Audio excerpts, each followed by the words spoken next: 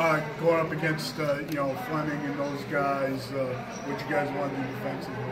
Uh, well, we're focusing on trying to stop him because he's a big part of their offense. So you know, that's what our main thing was to do. How about the job Bernat you did on? What's that? How about the job Bernat you did on? Oh yeah, he did a really good job. He's that's what he's he's here for. He's a big defensive player on that team, and he locked him down. Does his phys- physicality surprise some people? You look at him; he's not, you know, the most built kid. But if you ever seen him play, play football or basketball, he's, yeah, he's They- tough. He's got that motor. Yeah, he's definitely. I mean, he's got some good size still, Yep. and he just plays with a lot of heart. So. The thought for you coming out just to, to come out strong and kind of take a lot on your shoulders early on in the game. Coach, Yeah. Coach kind of said that was the plan. Yeah, yeah, that was the plan. Trying to get me going early, and the team did a good job giving me the ball and just able to put the ball in the basket.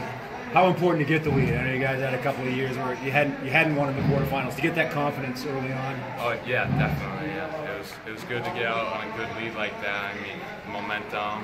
It definitely helped. Uh, what happened on that play with the, the tip in? Did you did you roll your ankle? Uh, yeah, I just landed on my teammate and just tweaked it a little bit. How was it? Uh, it's it's fine. I'll be good to go. Nervous moment at all? Uh, yeah, a little bit. Just when it happened. I mean, it was shocking. I didn't think I'd land on it and twist it a little bit, but I'll be good. Thanks, Nick. Good luck, Sean.